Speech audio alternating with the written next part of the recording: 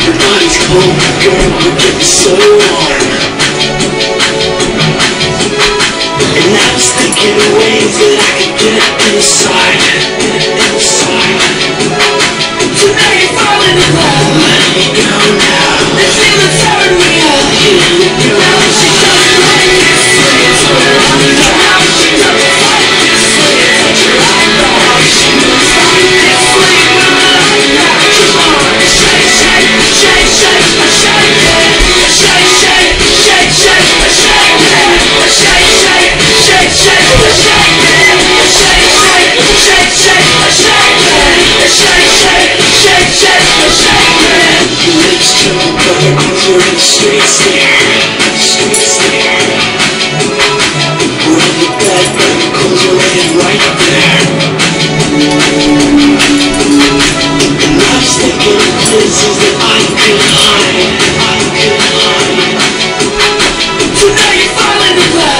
me go now. This feeling's tearing me up.